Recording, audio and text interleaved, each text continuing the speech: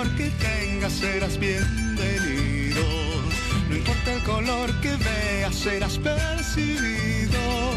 No importa si ya estuviste mucho tiempo a ciegas, lo que importa es que por fin estás aquí. Porque aquí no hay más fronteras, esta tierra es toda nuestra, eres bienvenido. Porque aquí ¿Cómo están? Muy buenas noches. Qué gusto estar con todos ustedes, abrazarlos a la distancia, decirles, aquí estamos. Hemos presentado hoy nuestra tercera encuesta nacional de intención de voto. Hay resultados que evidentemente han sorprendido y de eso vamos a estar hablando esta noche aquí con el panel de invitados de lujo que tenemos en Bolivia Decide. ¿Podemos ver, señor director, ya ese cuadro con los datos, por favor, de inmediato? Vamos a ver enseguida justamente nuestro cuadro, esta tercera encuesta. Y les decía, le anticipaba eh, sorpresas. Hay ya cuatro candidatos posicionados y el resto estarían posicionados para irse prácticamente, para perder su sigla. Vean ustedes. Primer puesto para Evo Morales con el 38,8%. Segundo, Carlos Mesa con el 28,4%. Tercero, Oscar Ortiz con el 9,6%. Cuarto, doctor Chi Yon Chong con el 5,9% y evidentemente Consideramos que esta puede ser una de las grandes sorpresas de esta última encuesta que ha sido realizada desde finales de septiembre hasta el 8 de octubre. Y los cinco restantes candidatos, vemos a Félix Pazzi con el 1,8%, Virginio Lema con el 1,1%, Víctor Hugo Cárdenas con el 0,9%, la señora Nina con el 0,9% y estamos viendo a Israel Rodríguez con el 0,1%. A ver, otro cuadro más. ¿Cuál es el porcentaje de los indecisos? Están viendo los cuatro primeros candidatos. Ahí vea, Evo Morales con el más, Carlos Mesa, Oscar Ortiz, Doctor Chinochón y el porcentaje de indecisos, el 12,5%. 12,5%, vamos a ver qué dicen más adelante nuestros analistas con relación a ellos. Y también tenemos cuadros comparativos, por favor, señor director, estamos viendo ya esta información para que usted también la vaya desmenuzando. El presidente Evo Morales en la primera encuesta obtuvo el 39,1%. En la segunda encuesta, que ha sido emitida el 12 de septiembre, ha obtenido el 43,2%. Y esta tercera encuesta, que hoy la hemos difundido, el 38,8%. Sí, evidentemente se registra un descenso. Carlos de Mesa, en nuestra primera encuesta, emitida en agosto, el 22%. En la segunda encuesta, emitida en septiembre, el 21,3%. Y en la tercera encuesta se ve que ha subido en una forma interesante con el 28,4%. Con Oscar Ortiz, en la primera encuesta obtuvo el 9,5%.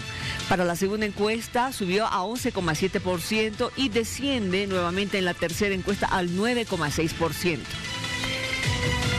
Y vemos que esta ha sido la sorpresa porque el doctor Chong en la primera encuesta no, no, no, no figuraba su nombre todavía como candidato. Se votó por el PDC con el 0,8%, en la segunda encuesta también con el 0,8% y en la tercera encuesta ya como el doctor Chillon Chong con el 5,9%, siendo este un voto real para este candidato.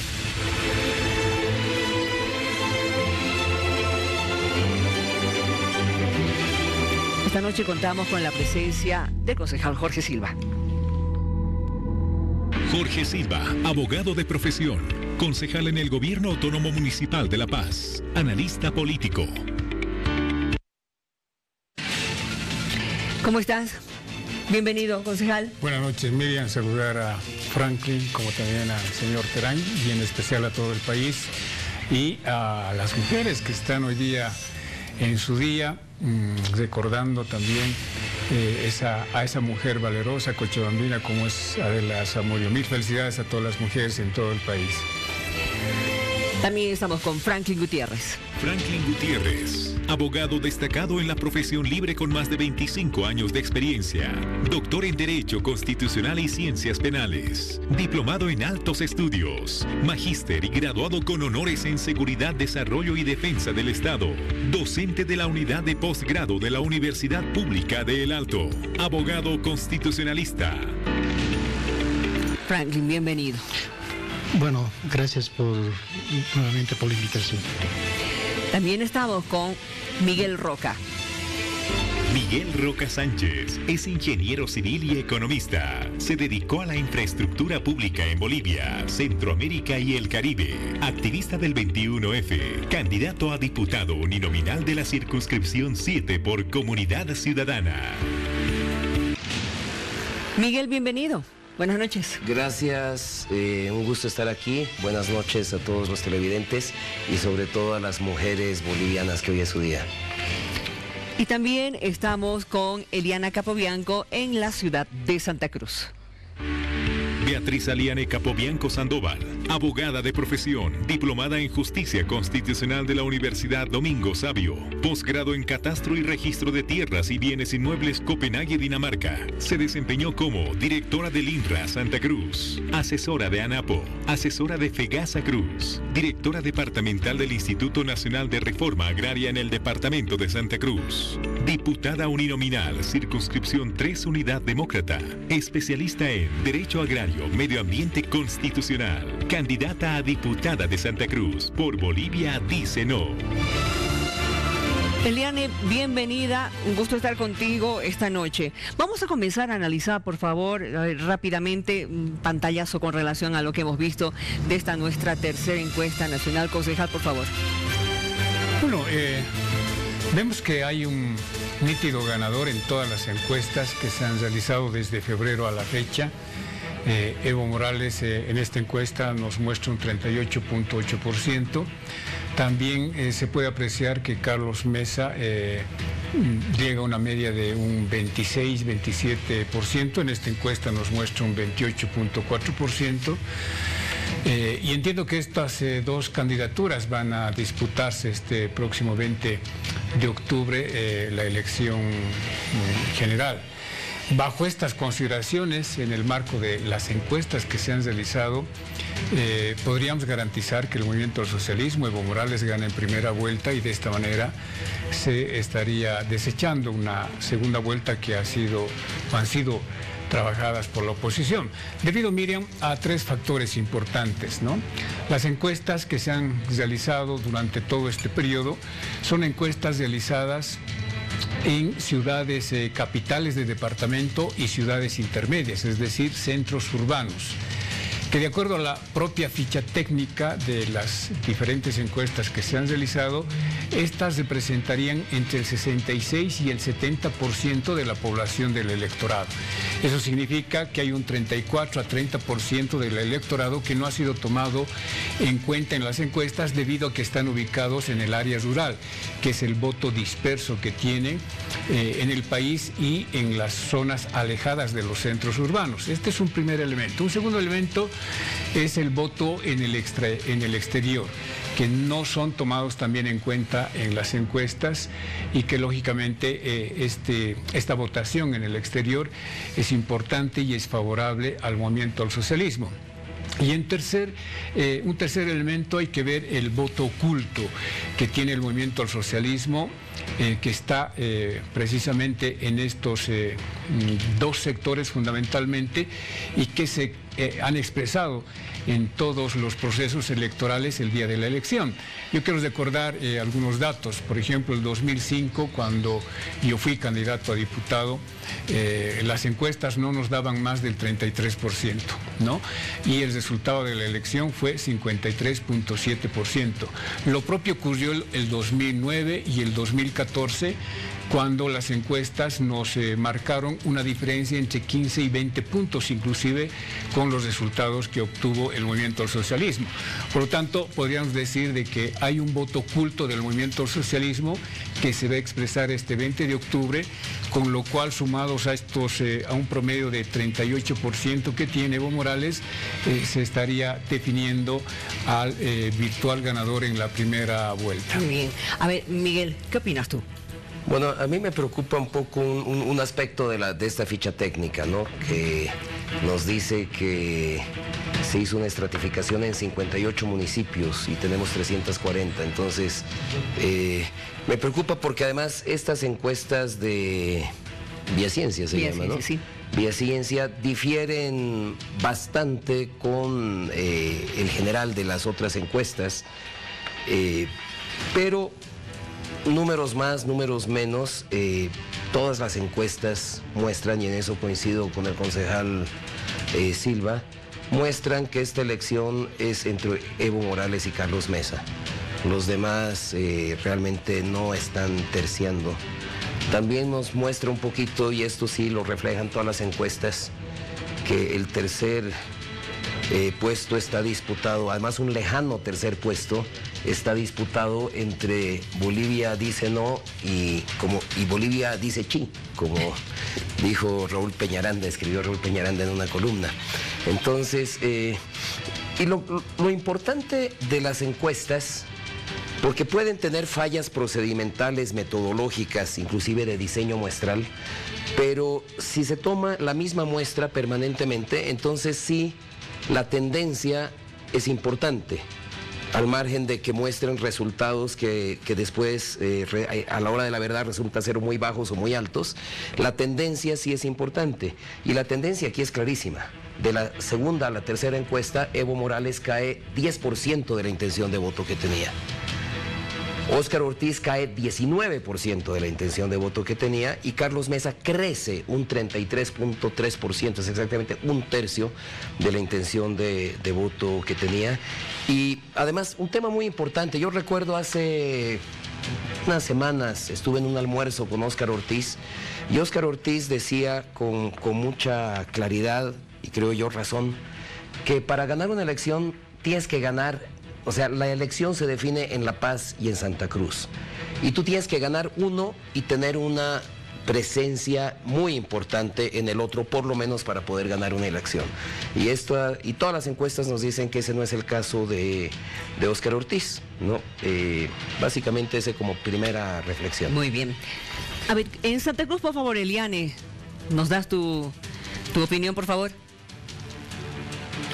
Claro que sí. Primero que nada, no tuve la oportunidad de felicitar a todas las mujeres bolivianas decirles que quienes nos están viendo felicitamos porque creemos que la labor como mujer es muy importante y es trascendental y fundamental en el país. En segundo lugar, decirles que he revisado, he mirado las encuestas anteriormente, me llaman la atención algunos aspectos, creo que es importante decirlo. En primer lugar, vemos que hay un nivel de indecisos que sigue un porcentaje del 12,5%, sigue siendo un porcentaje elevado cuando estamos a pocos días de las elecciones y creo que eso es un elemento que no debe dejarse de lado. Es un elemento que hay que ver y que hay que observar y que debemos seguir trabajando trabajando y debemos seguir yendo a la ciudadanía, seguir caminando calle por calle, dando las manos, hablando con los vecinos. Y por otro lado, hay un tema también que hay otro tipo de encuesta. La verdadera encuesta va a ser el día 20 de octubre, pero más allá de eso, hay otra encuesta que la sentimos quienes estamos en las calles. En el tema de Santa Cruz, que es donde he estado realizando más que nada yo la, la campaña, vemos una gran receptividad de todos los vecinos y los ciudadanos que salen a recibirnos, a darnos las manos y a darnos el apoyo. Lo que estamos viviendo en este momento es una, un menú de encuestas en el cual cada uno elige cuál es el que le conviene y cuál no, que difieren unas de otras cuando son sacadas casi al mismo tiempo. Y creo que eso nos lleva a pensar eh, en qué medida pueden las encuestas de repente direccionar o no los votos en los bolivianos. Yo creo que nosotros estamos aquí en una contienda totalmente democrática y por supuesto estamos convencidos que tenemos el mejor candidato, Oscar Ortiz ha demostrado la capacidad que tiene ante todo el país, las propuestas que tiene para el país y creemos que en realidad es la mejor opción para los bolivianos. Muy bien, muchísimas gracias, Eliane. Franklin, a ver, ¿qué opinas tú? Yo ya no voy a hablar de porcentajes porque ya lo han expresado. Lo que hay que darle al pueblo es un lenguaje claro bajo el principio de la secuencia electoral, que es un principio universal en materia electoral. Yo considero que en esta encuesta, este principio electoral de secuencia le favorece a Carlos Mesa. Y también le favorece a Chi. Los demás están manteniendo ese sismo. Ortiz considero que ha, que ha bajado. Y por otra parte, si nosotros analizamos el área rural, es el fuerte del MAS. pero hay que ver la cantidad de habitantes que se tiene en el área rural y hay que ver también que los demás partidos políticos no han tenido mucho acceso en su campaña al, área rural. Eso también ha habido bloqueo por parte de, muchos eh, políticos que tal vez han bloqueado ese derecho electoral a los demás partidos. ¿no? Y por otra parte, hay que ver el fuerte del MAS, que está en La Paz, Cochabamba, pero en Tarija, bueno, ha perdido bastante, en Santa Cruz ha perdido, en Pando también es su fuerte, pero en el contexto integral de lo que significa los números, las estadísticas, el MAS ha rebajado porcentajes no muy fuertes, pero ha disminuido. Ha crecido Mesa y, para mí el ganador, aunque no es, no es el campeón, es Chi.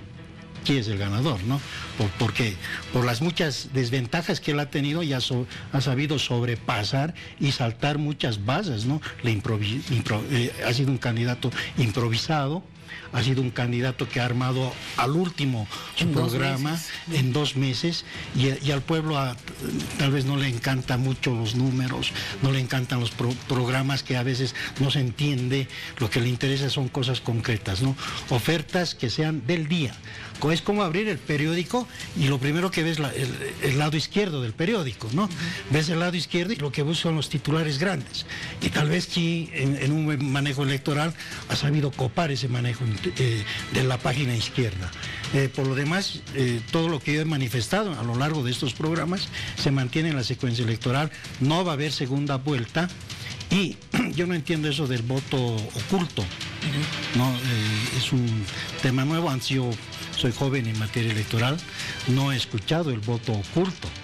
Aquellos que no, no dicen en, los sondeos por quién van a votar no, hasta el último momento. Claro, son aquellos que tal vez, eh, eh, pero ¿en qué, de qué edad a qué edad está el voto oculto?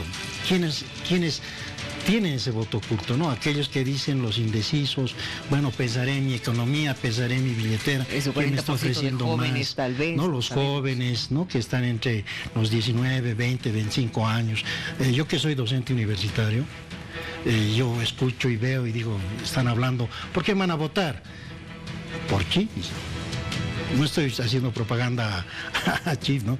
Pero yo creo que ha, generado mucho apego, ¿no? Eh, en materia de el nombre mismo de Chi, entonces ya se vuelve jocoso y la gente a veces es indecisa porque hay candidatos que no te están ofertando cosas novedosas para los jóvenes. No consiste en poner jóvenes a la Cámara de Diputados, no consiste en poner a jóvenes en el Senado, sino consiste en programas contundentes para la juventud. Vamos a ver, eh, por favor, eh, señor director, nuestro cuadro de este sondeo de voto eh, lo urbano y lo rural. Y con esto nos vamos a ir a la pausa, pero vamos viendo esto, por favor. A ver, el MAS obtiene en la primera la primera ubicación con el 32,8% en lo urbano, eh, Comunidad Ciudadana el 33,2%, ah, perdón, ahí estaría, sí, en primer lugar Comunidad Ciudadana con el 33,2%, segundo lugar el MAS con el 32,8%, en tercer lugar eh, Bolivia dice no con el 10,2% y el PDC en cuarta ubicación en lo urbano con el 6,4%. Veamos lo rural, por favor. En lo rural, en lo rural, Evo Morales obtiene la primera ubicación con el 56,6%, Comunidad Ciudadana la segunda con el 14%, Bolivia dice no el 8,1% en la tercera ubicación y el PDC con el 4,5% en la cuarta ubicación. Quédese con nosotros, enseguida continuaremos analizando un poco más esta nuestra tercera encuesta nacional de sondeo de opinión.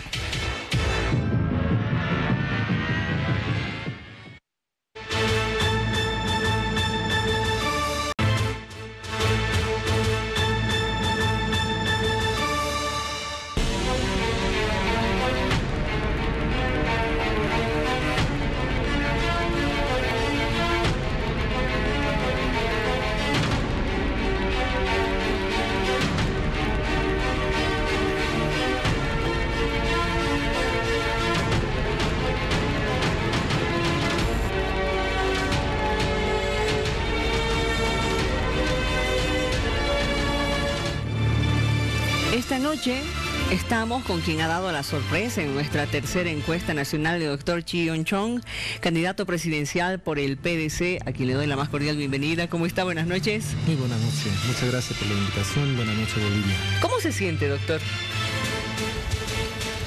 ¿Cómo se siente? Muy agradecido al pueblo boliviano por la gentileza y en especial por esos jóvenes y los ancianos que me dan la mano, vendedores de plátanos, vendedores de empanadas. Cuando yo cruzo por la, por la calle, me invitan empanada, recién fritaditos, me invitan plátanos. Muy agradecido, estuve dando la vuelta a las provincias, un poquito lo que yo pude alcanzar, ¿no? Eh, a pesar del tiempo que es muy corto, intenté de conocer un poco, de escuchar de la gente. Vi los ojos de los niños, ojos de los ancianos y lo vi la gran necesidad de la transformación de Bolivia, que ahora ha llegado la hora de la decisión del pueblo boliviano para trazar una nueva meta de Bolivia. Estamos a nueve días de las elecciones, usted está ya ubicado en la cuarta posición, pero la idea no es quedarse en la cuarta posición. No es cuarta posición. Los bolivianos ya saben lo que quieren. Solamente existen las encuestas que yo lo veo que está bastante dirigida las personas que están haciendo las encuestas. Yo tengo mi propia encuestas y desde hace tiempo estamos manteniendo el primer lugar a nivel nacional. Así que lo vamos a ver y lo vamos a desmantelar, lo que significa en el día de la votación. En el día de la votación. Ahora, ¿cuál es la empresa con la que está trabajando usted? ¿Se puede No es la empresa, yo lo tengo en mis redes sociales, eh, mis redes, lo cual yo lo hago el seguimiento. Entonces tenemos nuestra gente que hace el seguimiento. Ahora, ¿a qué se debe esta subida, según usted? ¿Qué cree que ha influido en la gente? Porque, a ver, vamos a recordar cuando usted ha comenzado, ha generado una polémica tremenda, ¿no es cierto? Y también rechazo en diversos grupos. Sin embargo, hoy lo tenemos ahí arriba. Sí. Número uno, doy gracias al Señor. Creo que mi primera entrevista, gracias a Dios, ha sido con usted. Una persona muy neutral, eh, que gestiona la democracia y la libertad en Bolivia y mediante estas redes de telecomunicación permite que la población se entere honestamente lo que significa, lo que necesita escuchar el pueblo. Eh, mi primera meta y la primera palabra que le dije es eh, que humanamente es imposible subir de 0.3% a la presidencia pero le dije que si que llego yo a la presidencia, toda la honra y la gloria lo voy a entregar a la mano del Señor y voy a, a, Dios, yo digo, y voy a agradecer a las oraciones del pueblo cristiano y entusiasmo de los jóvenes y de los emprendedores que depositan la esperanza y nuestros campesinos de Yunga y de Timni y nuestra gente que son sufridos y marginados de la sociedad que están depositando la esperanza. Lo voy a decir que llegó el día de transformación de Bolivia, llegó el día de la esperanza de ellos, donde lo vamos a poner en práctica, todo lo que nosotros venimos diciendo en este corto tiempo de, eh, electoral. A ver, según usted, ¿qué, ¿en qué está usted aventajando a los otros eh, candidatos? a los otros partidos. Sí, lo que pasa es que estoy proponiendo las ideas innovadoras. Eh, antisistemas prácticamente. Yo estoy diciendo que ya se ha llegado el tiempo donde tiene que bajar el telón del socialismo del siglo XXI y sus allegados de George Soro, que lo tienen sus allegados nacionales, infiltrado en cada uno de los sectores sociales, en especial de los partidos. Por lo tanto, eh, se va a acabar su influencia de George Soro y también de la influencia de gestión de Ford de San Paulo y que está manipulándole a la población entera con su pseudo desarrollo del país, que es una farsa y que yo vengo de ver lo que es la verdadera necesidad de la sociedad en cada rincón de Bolivia. ¿Usted le ha ofrecido a Bolivia volverse parte del primer mundo? Sí, una vez que cambiamos el sistema es posible que haya la transformación, porque ya lo estoy diciendo, que tiene que haber una inserción de nuestro sistema y forma de pensamiento, un fomento a la económica, el desarrollo emprendedora social y también en nuestro fomento a lo que significa la ecología. Entonces con esos tres estratos de trabajo y por otro lado si empezamos a trabajar en nuestras tres ideas fuerza que yo lo estoy diciendo, cooperación, trabajo intenso y autosustentamiento donde lo vamos a poner como en un eslogan nacional en cada uno de los sectores eh, sociales eh, operativas. Por otro lado, vamos a ir trabajando en tres estratos de funciones aplicativas. Eh, funciones aplicativas del desempeño operativo. Podríamos mencionar que primeramente mucho viene engañando al pueblo diciendo educación, salud y el camino. O educación, salud y cancha deportiva. Y educación y salud o infraestructura de colegio o de los hospitales. Pero yo lo cambio esto. Eh, no vamos a entrar con esos juegos, eh, que en realidad es un engaño a la población. Primero, tenemos que trabajar por la economía nacional. Segundo, debemos trabajar por la justicia nacional. Si no hay justicia y estamos llenitos de corrupción, aquí se... Entonces mírenle ese triángulo. ¿eh? Educación, salud y el camino. Elimina la educación y la justicia por detrás. Por esa razón estamos llenos de corrupción y por eso la población no tiene la plata. Y sigue con la farsa diciendo que le vamos a dar salud gratis, que le vamos a dar la educación gratis, y le confunde a la gente que quieren hacer la carretera, que confunde a la gente diciendo que aquí está la infraestructura. Mientras la gente no tiene que comer, no tiene que vestir. Estamos viviendo en una hambruna caso de Bolivia. Mayor de la población vive, trabaja apenas para el día. No es posible que Bolivia sigamos así. Ya en 13 años gobierno del movimiento de la izquierda han fracasado y durante 70 años lo mismo. ¿ya? Y hay uno que otro que la dictadura que intentó de cambiar el sistema, pero no ha podido superar la situación. Bueno, usted ha estado presente en el Cabildo de Santa Cruz, por lo menos ah, sabe cuáles han sido las resoluciones a las que han llegado. También en la ciudad de La Paz. Usted... Eh, ¿Qué opinión tiene con relación al pedido de Santa Cruz y también al pedido de, La Paz? Sí, en verdad no estuve, no pude estar en Santa Cruz porque eh, yo tuve, o sea, Cabildo ha sido una programación un tanto improvista en caso de Santa Cruz. Yo tenía ya, yo estaba en, en Rivera Alta, muy lejos, aunque hubiese querido yo no, no podía volver. Detalle es que eh, lo importante es con qué ideas se han salido y cuál ha sido la propuesta y cuál han llegado sus resultados. Caso de Santa Cruz, yo lo veo, ha habido una gran manifestación de la población boliviana porque tiene la sed de justicia por 21F.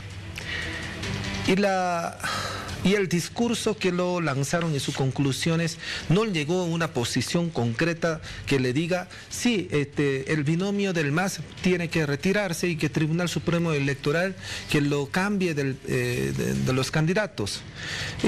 entonces, ya que no hubo, no, no lo hubo un pronunciamiento como para decir paro indefinido, indefinido que, cosa que bien podía convertirse en una un conflicto con el gobierno, bien sabiamente ellos dijo una palabra interesante. Dijo, voto castigo al grupo del MAS. Que la población se una a nivel nacional para el voto castigo. Así que, que la población elija entre los opositores, una de ellas, y que entren a la elección eh, natural y programada. Y en ese sentido, le gestiona lo que significa la federalización. ¿Por qué? El Comité Cívico ya lo analizó y lo vio que sí que eh, nacionalización gasífera del Estado en realidad se quedó para los cúspides nada más. O sea, dice que Bolivia prosperó, sí, se quedó prosperando solamente para la gente que está en el nivel del cúspide de la gente del gobierno, mientras tanto para la población eso no le benefició en nada. Por lo tanto, eh, lo que, eh, lo que gestiona es que haya la federalización. Entonces, Cabalmente esa propuesta va en coincidencia con la propuesta que nosotros eh, venimos diciendo, igual coincidimos lo que decía Jaime Pazamora, igualmente con mi persona que tras el momento que entre, eh, que vamos a gestionar lo que se llama la federalización. Entonces en ese sentido, creo que no se ha equivocado por parte de Cabildo de Santa Cruz. Pero caso de La Paz, no hubo una postura bien clara al respecto. Eh, no hubo voto castigo como para decir, sino simplemente Desconocimiento, eso fue el término. Pero no, hubo voto castigo por decir que no lo voten por él y que voten por los opositores. Pero lo que me llamó la atención eh, fuertemente es que, ¿por qué razón tuvo que invitar a una persona que representa LGTBI? LGTBI está con comunidad ciudadana. Entonces, ¿por qué tiene que lanzar una persona que representa un partido político, comunidad ciudadana, y a gestionar la práctica sexual temprana a toda la población, a nuestros niños, niñas, atentando contra la familia y la identidad de nuestros niños? Está hablando de la señora María Galindo. Yo no sé si él es transgénero o si es transexual, como para que yo pueda decir si ella es María o Mario. No es María. Es María. ¿Es María? María. Ya bueno, entonces. María René Galindo. Ya bueno, entonces si ella es María, entonces de todas maneras su discurso no me parece nada correcto. ¿Por qué? Reunión del Cabildo ha sido para 21F. ¿Y qué él en su discurso tiene que estar diciendo a la población entera? Que práctica sexual libre a todos.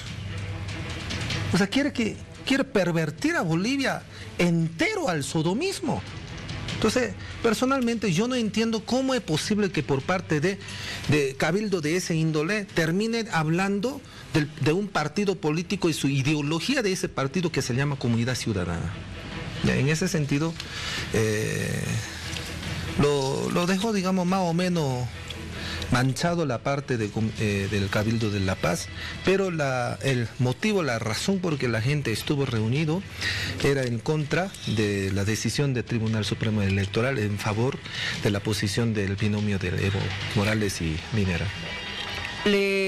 Propongo, por favor, aguardemos unos minutos, cumplimos con nuestros anunciadores y enseguida vamos a continuar hablando con el doctor Chillon Chong, pero también con nuestros analistas. Por favor, el cuadro nacional para que el doctor Chillon Chong vea el porcentaje que ha obtenido en esta tercera encuesta nacional realizada por cinco medios televisivos, entre los cuales está la Red Bolivisión. En primer lugar, eh, eh, Evo Morales con el 38,8%. Segundo, Carlos Mesa con el 28,4%. Tercer lugar, Oscar Ortiz con el 9,6%. Cuarto lugar, el doctor Chillon Chong con el 5,9%. Y ya vemos muy atrás a don Félix Pazzi con el 1,8%. Virginio Lema con el 1,1%. El señor Víctor Hugo Cárdenas con el 0,9%. La señora Nina con el 0,9%. Y también Israel Rodríguez con el 0,1%. Esta es la encuesta realizada por Vía Cienza.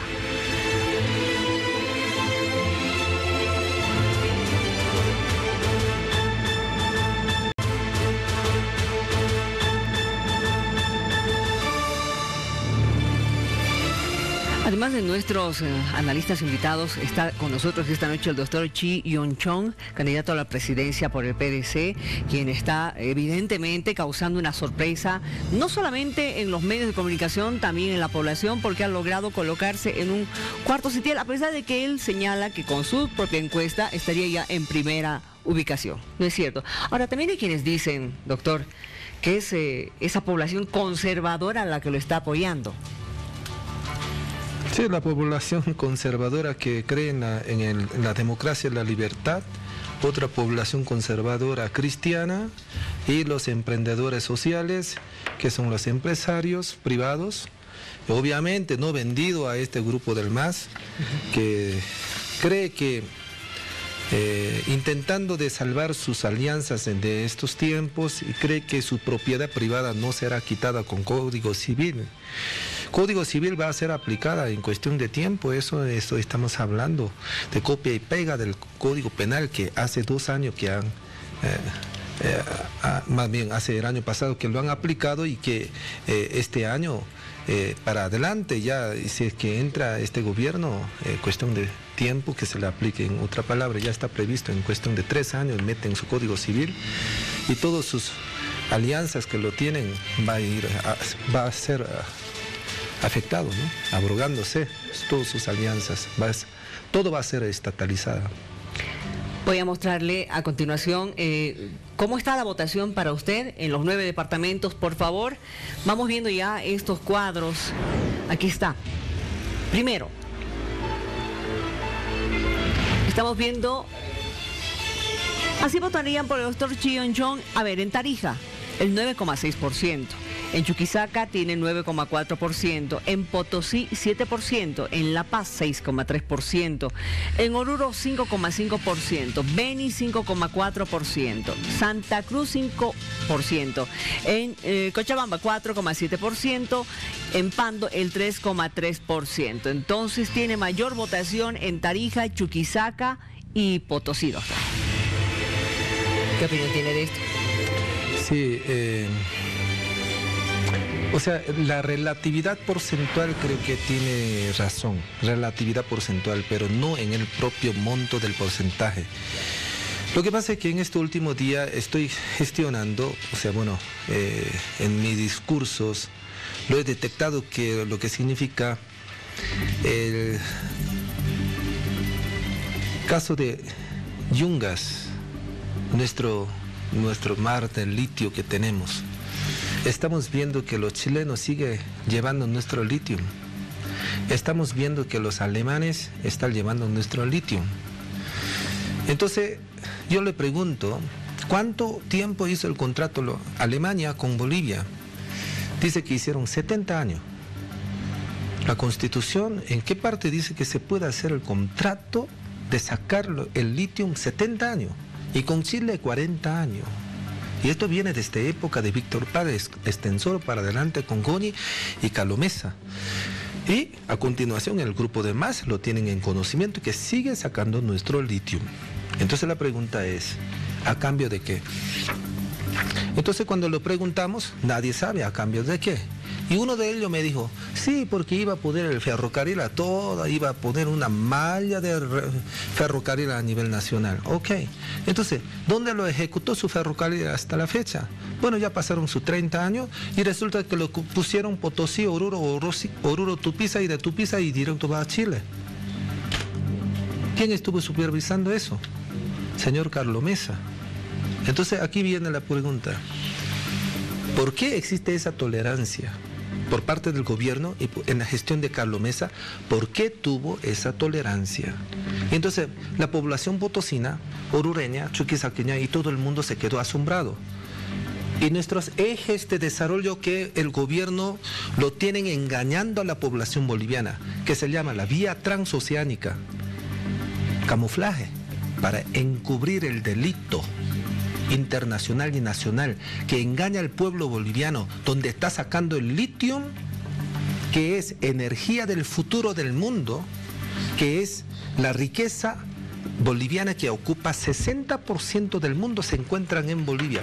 Y todo el tiempo viene desviando esa atención a La Paz, Cochabamba y Santa Cruz. Entonces, yo le dije, ¿sabe qué? Usted que está peleando por la regalía de 3 a 5%, lo que vamos a hacer es, vamos a plantear lo que se llama el federalismo y lo vamos a gestionar de que esos departamentos quede con 70% y que se manejen por los municipios y por cada uno de los cantones y mediante la gobernación de cada uno de los departamentos. O sea, estoy hablando de convertir su 3-5% de la pelea de la regalía que le paran tirando los cohetes durante sus dos años, lo vamos a transformar a 70%.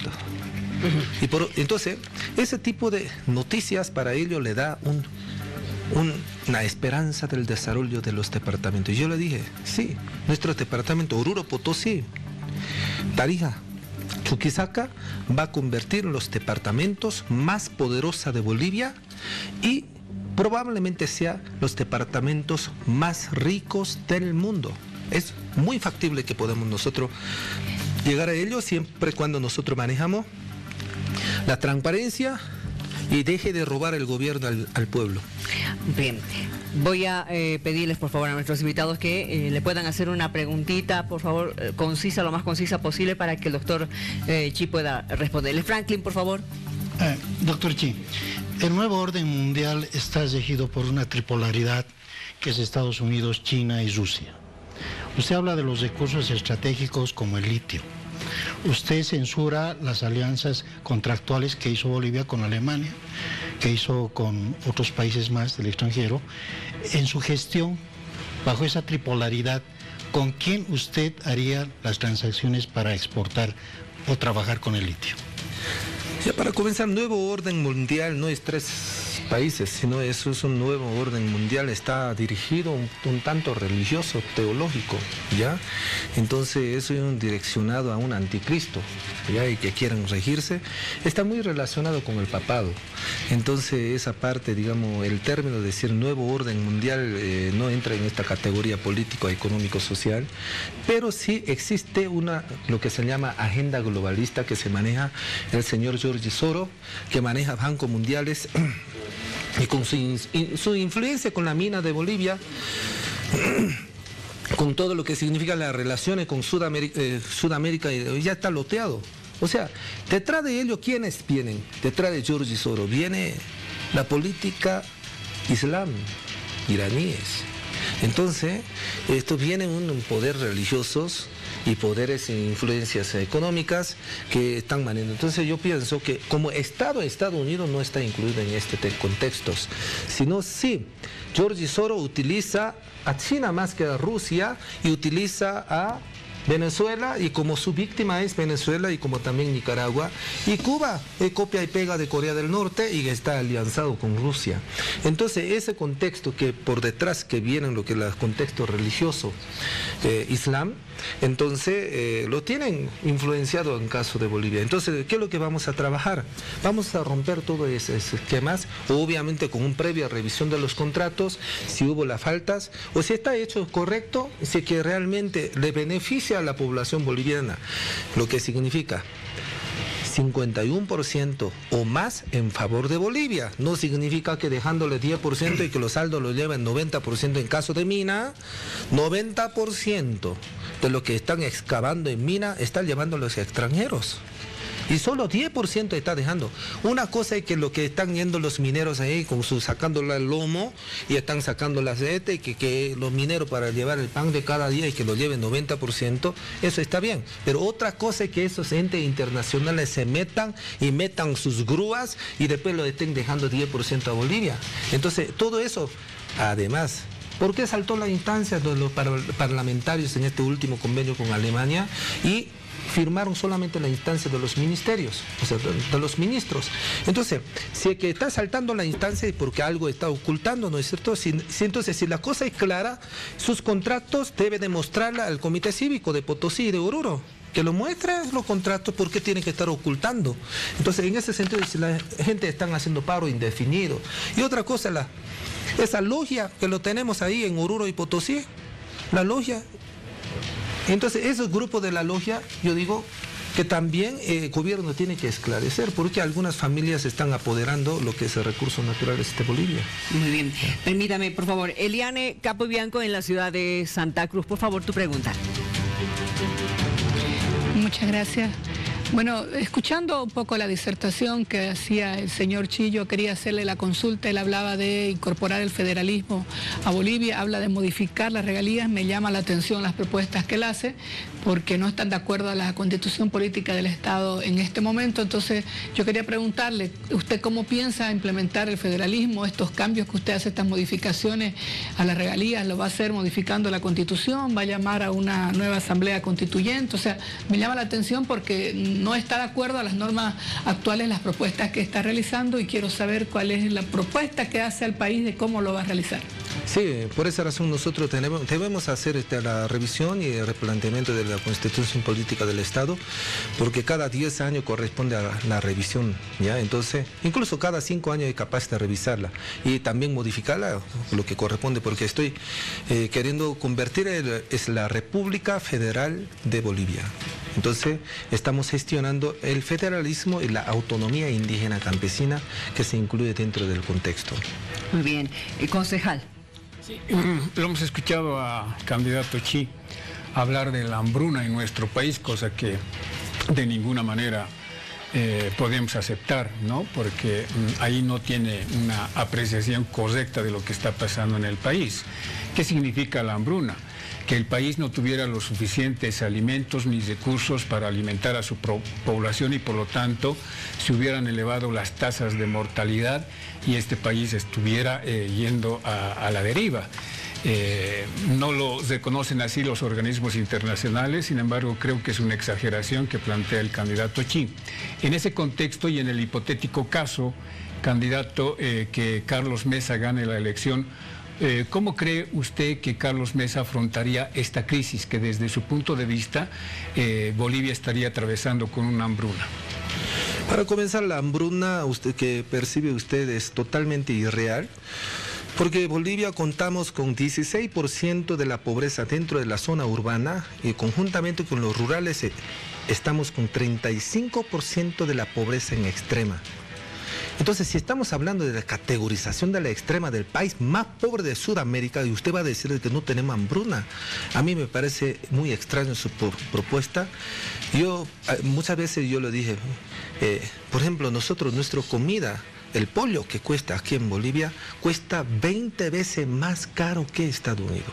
Nuestra ropa que lo utilizamos, la camisa, cuesta más o menos uno 6 a 8 veces más caro que en Estados Unidos. De acuerdo al nivel de vida que uno lo tiene. ¿ya? Entonces, igualmente la hambruna, ah, este, ¿qué se llama? La hamburguesa, cuesta, a ver, cuesta casi una cosa de 5 veces más caro que en Estados Unidos. O sea, esos son los países del primer mundo. 20 veces más caro es la vida, vivir aquí en Bolivia, comer, vestir, las cosas que son los básicos. ¿De qué vale tener monstruosidades de los edificios y resulta que no tenemos que comer? Ahora, resulta que en caso de Carlos Mesa, personalmente yo no me puedo imaginar la cosa que él puede ejecutar en Bolivia. Nosotros debemos entender lo que significa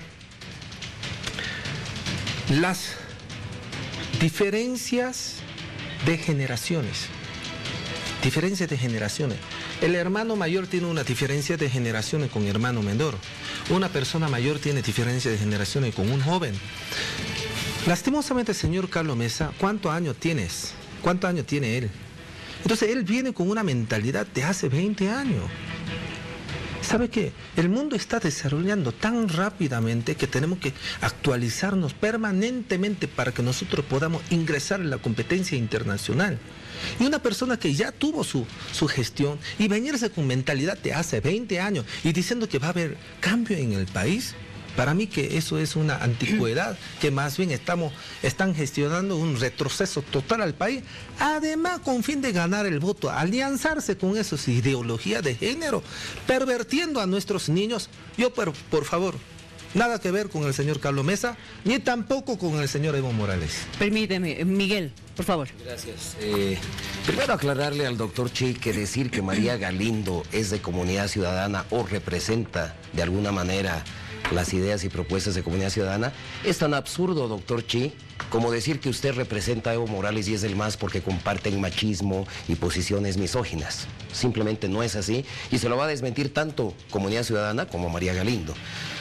Luego, yo había entendido que íbamos aquí a comentar encuestas, el, el, esquema electoral, representantes de los partidos que están en las primeras cuatro posiciones con una lista político, pero veo que es una entrevista al doctor Chi en la que nosotros actuamos como panelistas. No había entendido así la invitación, pero me, someto a, la regla. Eh, una pregunta, doctor Chi. Usted ha cobrado notoriedad en las últimas semanas porque apareció en la palestra política eh, con un porcentaje inexistente y ahora tiene un pequeño porcentaje. Usted se dice un hombre de Dios que no miente, ¿no? Y eso de que va primero en las encuestas yo creo que no se lo cree ni usted. Pero mi pregunta es, ¿qué está buscando? ¿Está buscando salvar la sigla del PDC? ¿Está buscando notoriedad mediática para sus fines personales, ya sean evangélicos o de la universidad o, de otros eh, intereses legítimos, por supuesto, eh, que persigue? ¿Qué es lo que busca con esta candidatura, doctor Chi? Doctor. Primeramente, caso de María Galindo, ella es representante de LTBI. Carlos Mesa con sus alcaldes de La Paz y de Tarija, creo, ya lo hizo su alianza y están implementando o estuvo implementando a introducir ideología de género a los niños. Desde kinderes, imagínense. Entonces, Carlos Mesa, con su alianza que lo hizo con Revilla de La Paz y con los de Tarija, ah, no, con los de Sucre, y esa alianza ya lo demostró en los hechos. Ya lo demostró en los hechos, dándole la mano, Revilla, su alianza con Carlos Mesa, y Carlos Mesa sacándole foto con LGTBI. ¿Usted tiene fotos con Evo Morales? ¿Lo hace masista? No, ¿Lo hace que eh, no, no, no? Una cosa es, yo represento institución PD PDC. ¿Ya? Universidad Cristiana de Bolivia es otra institución. El hecho de que usted tenga carnet boliviano no significa que usted sea masista. Es otra institución, cada uno tiene su lugar. El hecho de que esta empresa lo tenga, el canal de televisión, tenga personalidad jurídica firmada por Evo Morales, no significa que sea masista. Cada uno tiene su posición y su filosofía y la parte de la academia la ciencia tiene su propia institución en que se rige. Honores, honores causa. No, e- eso hizo un- en su momento su, su comisión académica, científica, social, política, que lo han organizado, sus entes, lo que significa Doctor de la, Chiquín, la parte académica. entonces, ya, usted me hizo la pregunta, yo creo que yo no estoy conversando con usted, estoy respondiendo ante su primer pregunta que lo hizo. Entonces, asunto de María Galindo, que representa LGTB y no debería haber salido en este eh, Cabildo de la Paz. Eso es lo que yo estoy diciendo y tiene Que su no alianza. Usted Ciudadana. no me está dejando exponer, por favor. Entonces, en ese sentido, no se puede separar de Carlos Mesa y con María Galindo. Segundo lugar, ¿qué es lo que busco? Busco la presidencia del país. No estoy viniendo a ensayar, ni tampoco ganar un experimento, o tampoco estoy haciéndole eh, propaganda de otras instituciones. Nunca he metido esa institución, simplemente me he presentado quién soy yo la- ante la población. Yo vengo con la propuesta, todo el tiempo yo vengo con la propuesta de transformación del país y lo tengo bien claro en cada una de las redes sociales, lo vengo exponiendo. Por lo tanto, ¿qué busco yo? Transformación de Bolivia. Eso busco. Y además, entro a la presidencia, entonces se acaba la corrupción en el país. Le invito a Gracias. su programa con el nuestro. Gracias, doctor, por haber venido. Gracias. Nosotros vamos a continuar enseguida, porque tenemos que seguir analizando más de nuestra tercera encuesta.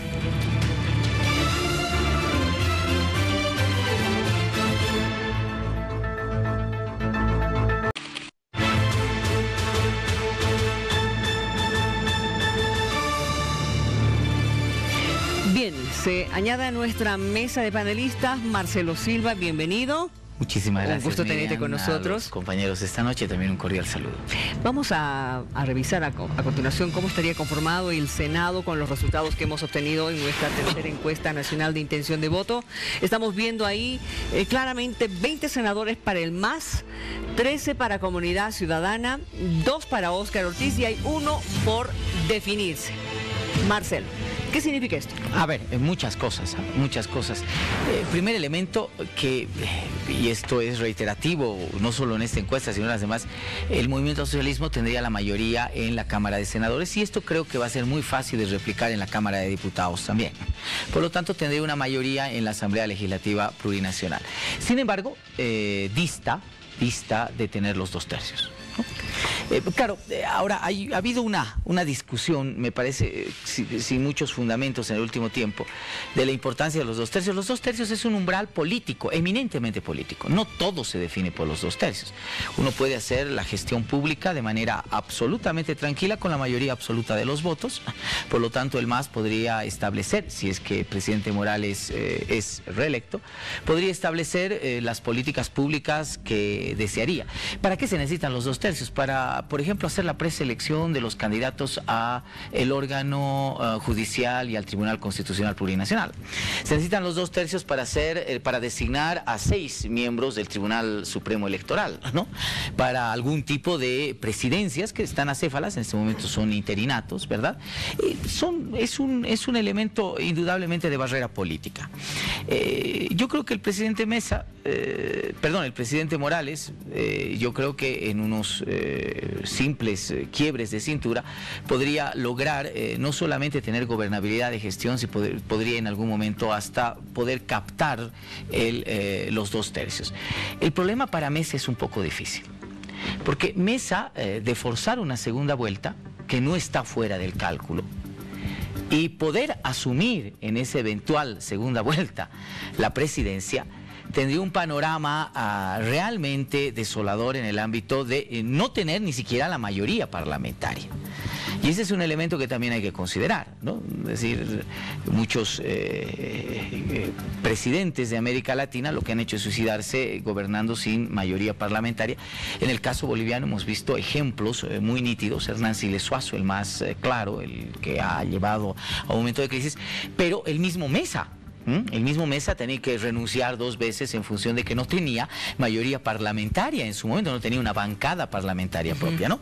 Entonces, por eso un poco se insistía en que el rendimiento electoral de Mesa debió haber sido mucho mejor para poder eh, achicar esta diferencia, esta brecha, porque no nos olvidemos de una cosa, la composición proporcional de la Asamblea Legislativa Plurinacional se da en la primera vuelta en la primera vuelta. La segunda vuelta no incide en absoluto para nada. Solamente se va a ir a elegir, si es que hay, ¿verdad?, entre el candidato A y el candidato B. A ver, ¿qué dices tú, Miguel, con relación al, análisis que acaba de hacer Marcelo?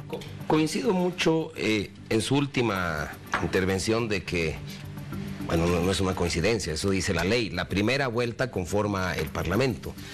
Pero comenzar a especular sobre la eventual conformación de la Asamblea Legislativa en función a una encuesta de muchas, sí me parece un despropósito, me parece un poquito... Eh, no deja de ser especulativo, ¿no? Entonces, eh, yo creo que lo que nos refleja la encuesta, repito, es una tendencia, me parece muy cuestionable el tema del diseño muestral, pero si han usado en las tres encuestas lo mismo, las tendencias sí son válidas, al margen de que si los porcentajes que aparecen son correctos o no.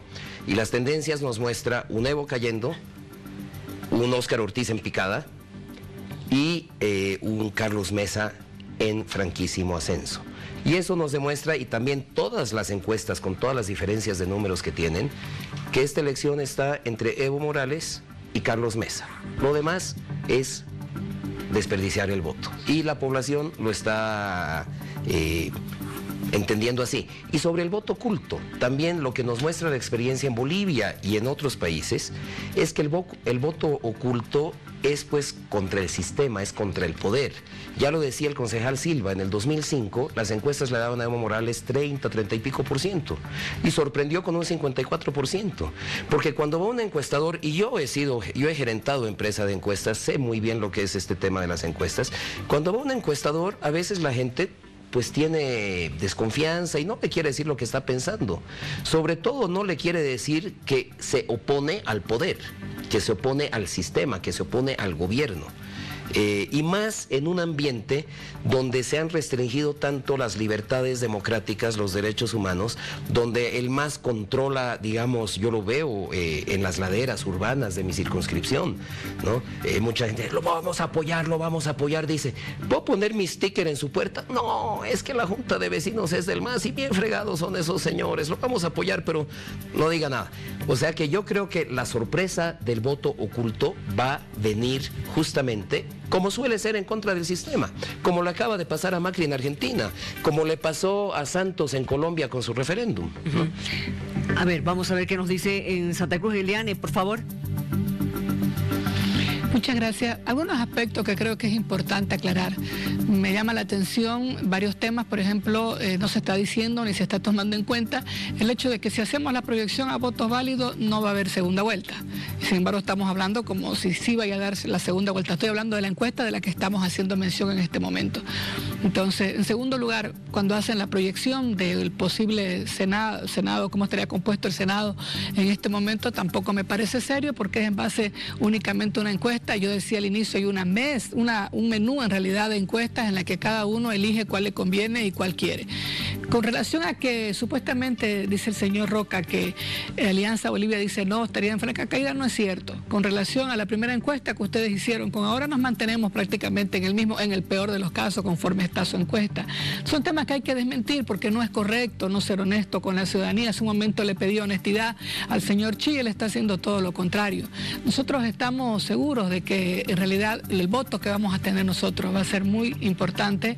Estamos seguros que ese voto oculto del que hablan va a favorecer al mejor candidato que tiene Bolivia, a Óscar Ortiz, quien ha demostrado mayor capacidad en sus propuestas, mayor capacidad en sus respuestas al país y mayor capacidad para poder gobernar Bolivia. Muy bien, gracias Eliane. Eh, concejal. Sí, estos 20 eh, senadores, estamos analizando la encuesta, ¿no? Y en función a esta encuesta, el movimiento al socialismo tendría 20 senadores en función a esta encuesta, que no dista mucho, Miriam, de las eh, anteriores encuestas, donde si sacamos eh, el, porcentaje adecuado de los 36 senadores que tiene la Cámara y el porcentaje que obtiene el movimiento al socialismo en los nueve departamentos, el promedio es entre 20 y 21 senadores. En esta encuesta se puede ver nítidamente que el MAS obtendría esos 20 senadores y eso le significaría una mayoría en la Cámara de Senadores.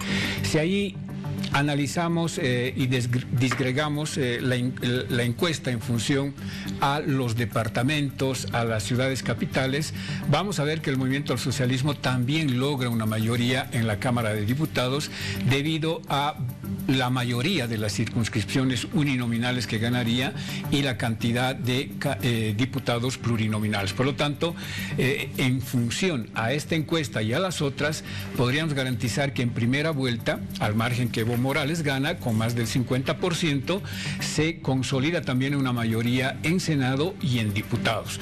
No es ninguna especulación, es en el marco de las proyecciones que te dan estos porcentajes de las encuestas que hoy estamos analizando. Por lo tanto, no hay que enojarse si es que los porcentajes que están arrojando las encuestas no favorecen a comunidad ciudadana o a Bolivia. Dijo, no, esta es una foto del momento y en función a esa foto del momento se puede apreciar que Evo Morales gana en primera vuelta, pero que además asegura la mayoría en Senado y en diputado. El segundo elemento es que se ve muy difícil que el movimiento al socialismo logre los dos tercios que actualmente eh, tiene, ¿no? Eh, que es un reto que la estamos asumiendo nosotros como movimiento al socialismo en estos nueve días eh, que queda, que lo vemos complicado por la coyuntura, por las fotografías que se están mostrando, creo que no vamos a lograr a esos, esos dos tercios. Sin embargo, estamos en esa lucha, lógicamente. Perfecto, a ver, Franklin. A ver, una pregunta. ¿Qué te, qué te explica eh, el escenario del Senado? Si tú colocas las funciones que cumple un Senado en la Constitución en un proyecto de ley, si en la Cámara de Diputados te aprueban una ley, ¿dónde pasa? A la Cámara Revisora, que es el Senado. El Senado. Pero si en el Senado no tienes mayoría, ese proyecto de ley no va a salir. Entonces, para hacer un análisis de seguridad jurídica constitucional, podríamos decir, sobre este esquema del Senado y esta distribución, eh, habría que analizar integralmente con la composición de la Cámara de Diputados. Porque si no tienes la, la Cámara de Diputados, no puedes analizar sesgadamente lo que sucede en el Senado por esa ida y vuelta que dan los proyectos de ley y los nombramientos de los supremos es general, ¿no? La Asamblea en su, en su totalidad. ¿Qué pasa si en el Senado se elabora un proyecto de ley? Ahí raspando pasa una ley.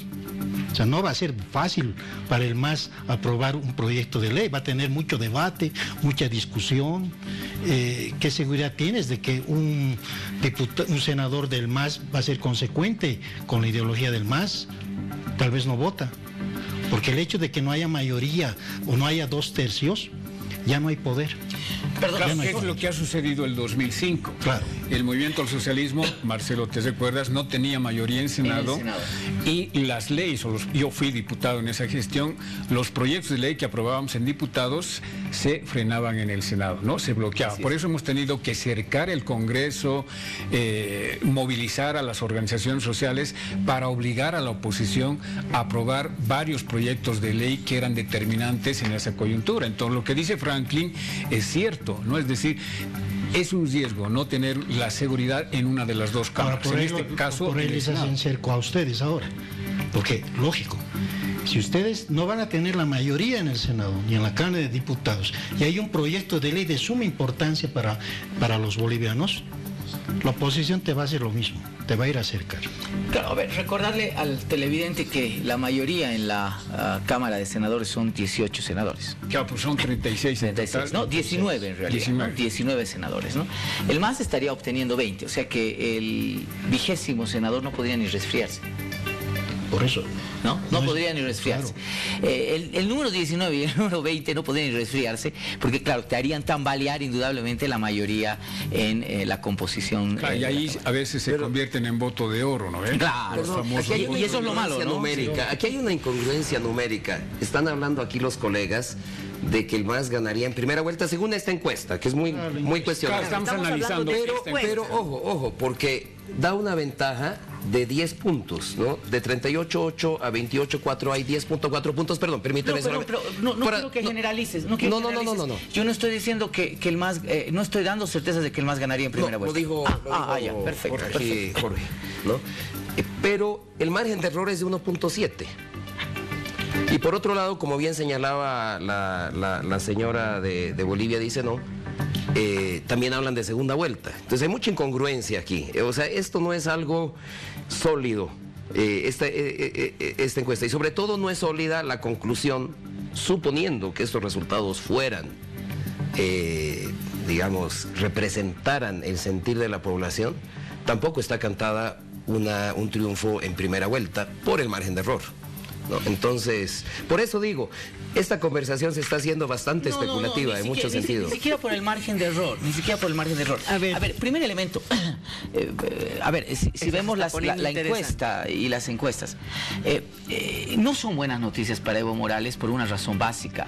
No concluye esta campaña electoral con el tema cerrado, que era su objetivo político. Es decir, vamos a ir el 20 de octubre, esta es una encuesta, ¿verdad? Una encuesta que te da ciertos márgenes, ciertas ideas, esta vez coincidente con otras encuestas, la de la de Cies Mori es prácticamente calcada en muchos elementos. sobre todo en tendencias. En tendencias, ¿no? Entonces, eh, el gran problema de, Evo Morales es de que el 20 de octubre, es decir, el momento en que cierra la campaña, no puede irse diciendo, señores, saben, lo que vamos a discutir es la correlación de fuerzas. Yo ya he ganado y ese no es un problema de discusión. No, no, no. El 20 de octubre recién se va a definir y no solamente por los elementos de tendencias, sino fundamentalmente por el número de indecisos que 6% que te arroja esta misma encuesta. Todavía ese 6% puede tener una incidencia. No está cerrado para Evo Morales, por supuesto, ganar en primera vuelta, pero tampoco es descartable la segunda vuelta. Por eso, lo que más nos lleva a la encuesta es esa incertidumbre más que certezas. Yo no sé de dónde sacan certezas de que alguien va, de que alguien va a ganar en primera vuelta o alguien va a forzar la segunda vuelta. Eso no está claro. Pues. Esto, eso, no está claro, eso no es definitivo. Son eh, mejores noticias para Mesa, no del todo, eh, pero son mejores noticias porque sube después de mucho tiempo en las encuestas y suben todas. Sube harto. Eh, no, no, sube, sube 1.9 sube, 1.9 en, el recorrido de las encuestas, en la que mejor sube. Y ese punto, ese 1.9, ese 1.9, indudablemente creo que nos puede incidir en la idea de que el voto útil está funcionando. Es decir, la gente al final va a concentrar y va a decir, señores, el, único que le puede hacer frente a, Morales, nos guste o no nos guste, no sea el mejor candidato, no tenga el mejor programa, etcétera, es Mesa. ¿No? Y creo que los tres cabildos han ayudado muchísimo en el sentido de que los tres cabildos han tenido ese mismo discurso, ¿no? Un poco el voto útil como, como ejemplo. Son noticias no halagadoras para Ortiz. Eh, a mí me sorprende mucho, claro, cuando eh, Ortiz iba de su vida, vivan las encuestas. Además, el discurso era todas las encuestas nos dan el crecimiento. Ahora que las encuestas le están dando bajada, nadie cree en las encuestas, ¿no? Eh, los primeros en defender, el gobernador Costa dijo, la verdadera encuesta recién va a estar allá, eh, nosotros creemos en la encuesta de la gente. Claro, ese es un manejo muy, ah, muy antojadizo del criterio de encuestas. Cuando me sirven, bienvenidas. Cuando no me sirven, mejor las desechamos, ¿verdad? Eh, pero saben, eh, para Chi ya, lo han analizado. Saben, quiero poner un tema en el, debate. ¿Saben para quiénes son trágicas las noticias? catastróficas, defenestradoras, calamitosas. No, ¿Para ¿Sabe para quién? Para el Tribunal Supremo Electoral. Vámonos Porque seguramente el Tribunal Supremo Electoral, y con esto termino la idea, estaba esperando cerrar este proceso de campaña con tendencias absolutamente claras y definidas. El domingo, los ojos, el domingo 20 de octubre, todos los ojos estarán sobre el Tribunal Supremo Electoral. Vámonos a una pausa, vamos a estar hablando al volver sobre eh, votos válidos en esta intención de voto. Ahí estamos viendo el cuadro. Intención de voto, solo votos válidos. Evo Morales, 44,3%. eh, Comunidad Ciudadana el 32,4%, Bolivia dice no, el 11%, PDC 6,8%. Volvemos enseguida.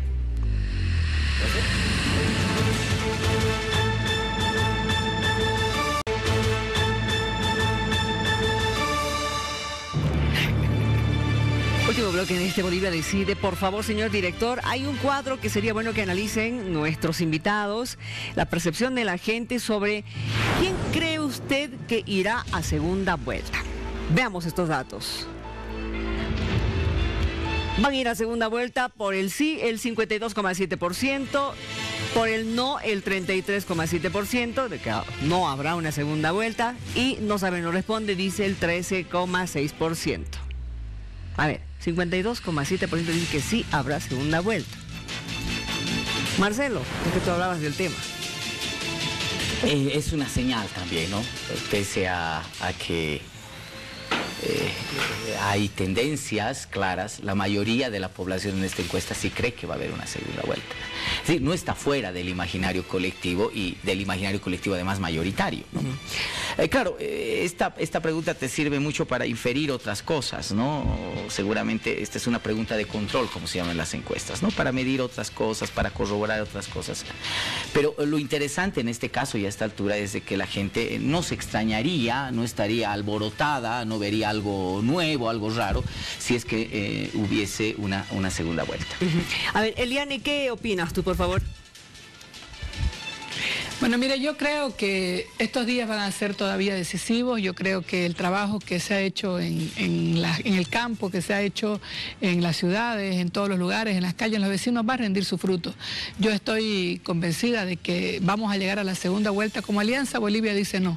Estamos convencidos de que tenemos el mejor candidato, tenemos el mejor programa, el único candidato que responde, que va a todas las entrevistas, que ha hecho una propuesta de acuerdo al cabildo, en el sentido de que se hizo la propuesta nuestra dentro de nuestro programa de federalizar las autonomías, se hizo nuestra propuesta el 10% para la salud, que es lo que han pedido los médicos. Esta propuesta la hemos hecho hace años con el padre Mateo, la hemos ratificado en nuestro programa y nuestro candidato a presidente en su condición de senador es el único que ha presentado un proyecto de ley al Parlamento para restaurar la chiquitanía. Es decir, que todos los puntos que en su oportunidad se han tratado en el Cabildo, especialmente Santa Cruz, que es el que dio inicio al resto de los cabildos, está dentro de nuestra propuesta. Quiere decir que lo que nosotros estamos proponiendo al país es lo que el país quiere en este momento.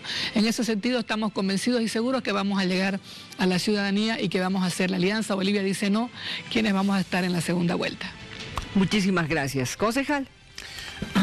¿Habrá segunda vuelta? ¿No habrá? De acuerdo, eh, y, y le, le voy a responder a Marcelo por qué nosotros eh, consideramos que en primera vuelta gana Evo Morales con más del 50% y por qué descartamos la segunda vuelta.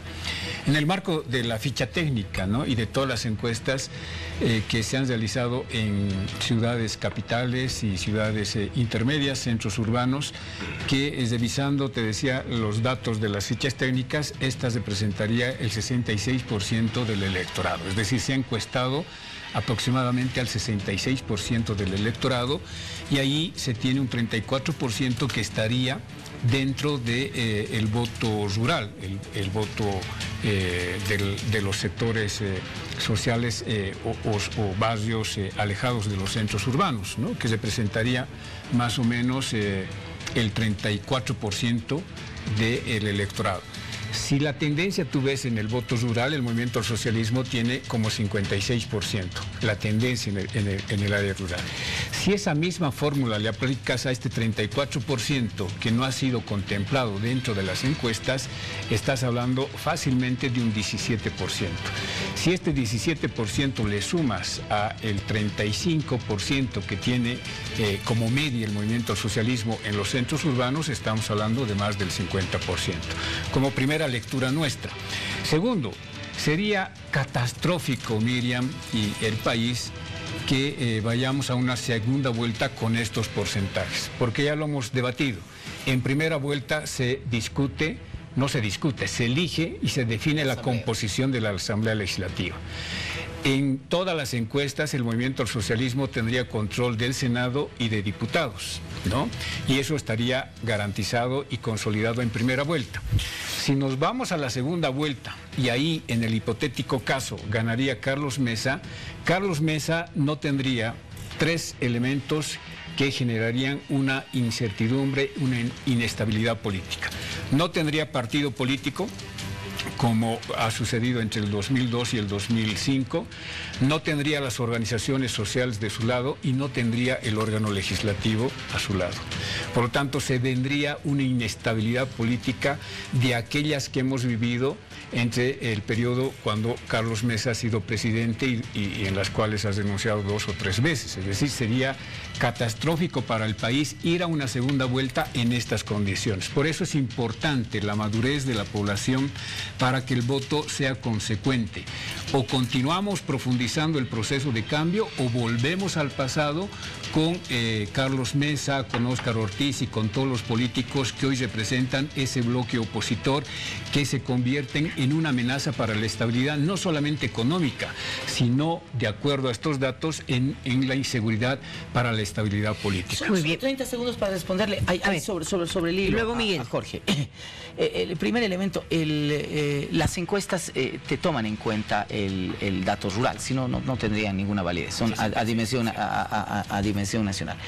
El segundo elemento no es, no es claro, por supuesto, y no es como antes el hecho de que el voto rural te puede voltear tendencias, sí te puede, te puede aumentar. Yo no, yo no te podría negar en absoluto de que Morales por el voto rural pueda subir 1, 2% de lo que tiene ahora no hay más. Pero en este momento el voto rural, que es 28, 30% del total de la población, no te puede voltear una, una tendencia que no haya sido recogida por las encuestas. Las encuestas han tenido cuidado de hacerlo. Primer elemento. Pero el segundo elemento, a contrapico, y es de que nadie está hablando, es del voto en el exterior. El voto del exterior tiene una incidencia eh, electoral, o podría tener una, incidencia electoral en proyecciones del 2.5%. ¿no? Eh, hay un voto eh, en el exterior que también ahora es digno de analizarlo.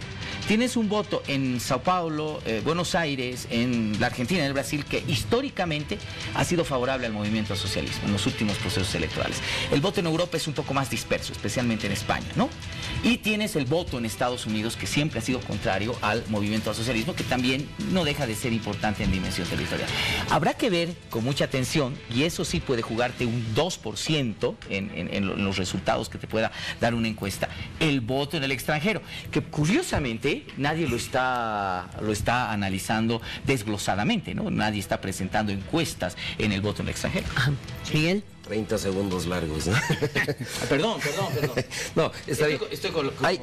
hay, una cosa que me preocupa mucho y creo que a todos los bolivianos nos tiene que preocupar. Aquí el representante del MAS nos dice que el MAS ha pensado que no hay segunda vuelta. Y le ha dado la instrucción al Tribunal Electoral que no hay segunda vuelta. El Tribunal Electoral no, lo tiene, no tiene una segunda vuelta en el cronograma electoral y no lo ha presupuestado, por instrucción del MAS. Eso es terrible, eso es lapidario para la democracia y por eso está claro que lo que nos estamos jugando el 20 de octubre es la democracia. Hace un momento alguien decía, ¿no? De que eh, decimos que es el fin de la historia. No es el fin de la historia, pero sí es el fin de la democracia boliviana, ¿no? Si vuelve a reproducirse el binomio ilegal, anticonstitucional, trucho, mentiroso. ¿Y por qué digo esto? Porque Evo Morales y Álvaro García Lineras cuántas veces han prometido solemnemente a la población no hacer esto que están haciendo. ¿Cuántas veces han incumplido su palabra? sin, sin technicalidades, sin technicalidades leguleyas, ¿no? Entonces, esto de la segunda vuelta es terrible. Segundo, están haciendo las encuestas a medida de la pantomima que quieren hacer. ¿no? Las anteriores encuestas eran, daban una diferencia como de 20 puntos entre el MAS y Carlos Mesa. Ahora dice, no es un poquito, un poquito más de 10, suficiente para ganar en primera vuelta, como para hacerlo creíble. Y los, los representantes del MAS sistemáticamente están hablando del voto oculto, del voto oculto rural y del voto oculto en el exterior. Sistemática lo y no uno, dos, tres, a todos los que he escuchado. ¿Y qué, y, qué vemos en el voto rural? Un crecimiento inexplicable, inexplicable del padrón donde ha crecido, según el INE, la población un 2-3%, el padrón crece 30 y 40%.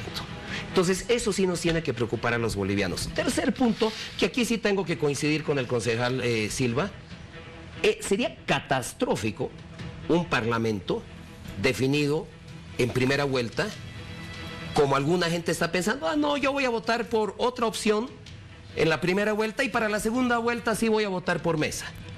Esa, discúlpeme a la gente que está pensando esa, esa es una decisión tonta. Es una decisión tonta justamente por lo que dice el concejal del MAS. Porque sería un parlamento catastrófico. Lo que estarían diciendo es definir un parlamento con mayoría masista para después definir que el MAS no sea gobierno y que sea gobierno Carlos Mesa. Muy bien. Y eso sí nos pondría en graves problemas. Franklin. Yo quiero hacer un análisis a los números. Y me parecería que a Carlos Mesa le beneficia esta encuesta. En la pregunta que se ha lanzado. ¿Por qué? La pregunta es, ¿habrá segunda vuelta? El 52.7% dice sí. Cruzaremos este dato con el área urbana. El MAS obtiene el 32.8%. Comunidad Ciudadana el 33.2%. Eso significa que no hay mayoría. Si cruzas estos datos con, con la encuesta de que sí va a haber segunda vuelta, la prueba del 52.7% es el resultado del 32 versus 33. Entonces el pueblo dice, va a haber segunda vuelta. ¿Por qué? Porque en el área urbana Mesa gana por un punto. Evo Morales pierde. Eso significa que tienen que irse a la segunda vuelta. El pueblo ya te está dando las respuestas en los números, de acuerdo a esta encuesta. Ah, lógicamente sin tomar en cuenta el voto en el extranjero, eh, sin tomar en cuenta otras situaciones más, ¿no es cierto? Pero en lo que se ve, va a haber segunda vuelta, le beneficia a Mesa por el momento y el 52% frente al 32% dice segunda vuelta. Muy bien, las perfecto. encuestas le dan una victoria urbana a Carlos Mesa sobre Evo Morales de entre 10 y 20 puntos. Eso también hay que tomar en cuenta. Tenemos otra que cosa, Otra cosa es ver, ¿no? Que si va a haber segunda vuelta, unos dicen no va a haber gobernabilidad, como dice eh, acá nuestro compañero Silva. No, bueno, tú no. Eh, Jorge Silva. ¿no? no va a haber gobernabilidad. Bueno, acá el pueblo sabrá qué tipo de gobernabilidad va a lanzar. Tienen 30 segundos ya para ir despidiéndose y dar sus eh, consideraciones finales. Voy a comenzar contigo, Miguel. Gracias. Bueno, es un poco repetir lo que acabo de decir y secundando las palabras de Jorge Silva. Eh, sería catastrófico votar por uno en primera vuelta y después votar por otro en segunda vuelta. Nos estamos jugando la democracia, nos estamos jugando el medio ambiente, nos estamos jugando la economía. Seguimos como nos quiere llevar el MAS y en dos, tres años va a haber solamente una salida hacia la izquierda, que es Venezuela, Nicaragua, y una salida hacia la derecha, que es Argentina o Ecuador. Si no cambiamos el rumbo este 20 de octubre, nos va a ir muy mal en todo sentido, económico, social, político y sobre todo democrático. Gracias, Miguel. Eliane, por favor, 30 segundos. Muchas gracias. Yo quiero pedir el voto para Óscar Ortiz a toda la ciudadanía, decirles que es el candidato que ha demostrado en toda esta campaña la capacidad, hemos comenzado casi de 0% y aunque quieran decir lo que quieran decir, creo que el crecimiento ha sido muy notable y creo que es el gran ganador en estas elecciones. Yo les pido el voto por Óscar Ortiz porque consideramos que no solamente él, sino los parlamentarios que estamos acompañando a Óscar Ortiz somos quienes hemos luchado estos 14 años contra el movimiento socialismo. Somos quienes realmente hemos demostrado que somos los opositores. No somos impostores como otros candidatos. Es así que yo pido el voto por Óscar Ortiz, el mejor candidato de Bolivia a la presidencia. Muchas gracias, eh, concejal Silva. Bueno, este 20, este 20 de octubre el pueblo de Bolivia tiene eh, la decisión del futuro de nuestro país en sus manos. No se trata ya de votar por eslogans, por clichés eh, o por adjetivos que nos ha venido posicionando la oposición. Se trata del destino de nuestro país. Se trata de elegir entre un hombre que ha trabajado en estos 14 años por sacar a Bolivia de esa postración de la extrema pobreza que nos han dejado los neoliberales, entre ellos Carlos Mesa, que fue presidente y vicepresidente, Se trata de evaluar y analizar a un hombre que le ha devuelto la dignidad, la soberanía a nuestro país y que tiene una agenda, la agenda del Bicentenario, para seguir avanzando en esa transformación estructural de Bolivia. Y por el otro lado, se tiene la opción de aquellos que están comprometidos con los actos de corrupción, de aquellos que no han transparentado sus finanzas, de aquellos que han hecho de los gastos reservados la caja chica para enriquecerse, de aquellos que no responden al pueblo de Bolivia y se escudan en la guerra sucia. Por lo tanto, el boliviano este 20 de octubre tiene en su mano la decisión por Bolivia. Para seguir avanzando, sigamos por Bolivia, bolivianos. Gracias, Marcelo. 30 segundos, por favor. Usted decide, eso es lo lindo de, la, de, la, de las elecciones y de la situación a la que hemos llegado. Nada está definido, nada está consolidado, nada está cerrado. El ciudadano va a tener la última palabra. Y probablemente el ciudadano se vea en la encrucijada de votar por eh, castigar el irrespeto al voto popular, el temor que pueda tener a que se repliquen dictaduras militares o perdón, dictaduras, en este caso no militares, sino civiles, de moduras. O votará por el temor a la inestabilidad, a la catástrofe económica, votará por la racionalidad económica. El ciudadano puede elegir y eso es lo más lindo. Lo que creo que hemos hecho durante este tiempo, Miriam, es darle los insumos para que el ciudadano elija. Lo bueno es de que las encuestas nos dicen que usted tiene la última palabra. Franklin, por favor, 30 segundos. yo, yo veo de que Bolivia se está dividiendo. Los dos cabildos que han habido en Santa Cruz como en La Paz nos están mostrando dos Bolivias distintas. Una Bolivia en Santa Cruz exportadora, emprendedora, que está cansada de ya de mantener al occidente, y un occidente que vive de la importación, todo trae del Perú, comemos del Perú, y Santa Cruz todo está exportando. Eso nos está llevando a una división porque no ha, no ha habido una política estratégica de unión. Nos está llevando a una división, por eso surgen las ideas del federalismo. Mientras que en el occidente salen ideas de desobediencia a la, a la o resistencia civil o, desobediencia, que ya Rousseau lo plasmó en, en sus obras y dijo, cuando la ley es mala hay que desobedecer, pero solo va a la ley. Yo creo que la responsabilidad ahora le corresponde al pueblo boliviano. De que el voto va a estar disperso y muy dividido, lo va a estar. Pero el pueblo les va a encomendar a, aquellos candidatos que vayan a obtener los votos mayoritarios a que no piensen en ellos, sino piensen en la unidad del país. Que sus programas de gobierno se unan por el bienestar de Bolivia. De lo contrario, Bolivia se va a dividir más. Las responsabilidades del pueblo, el pueblo, va a definir en las urnas, pero luego las responsabilidades van a ser de los dos primeros partidos políticos que estén elegidos por el pueblo. Y depende de ellos que haya gobernabilidad.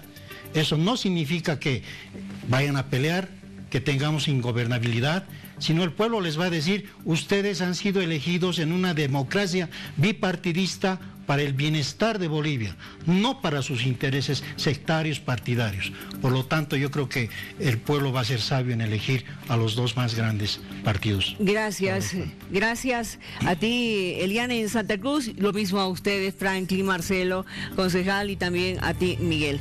A usted, como siempre, gracias. Y le invitamos el próximo domingo cordialmente a que nos siga porque lo tendremos como entrevistado al presidente Evo Morales Ayma.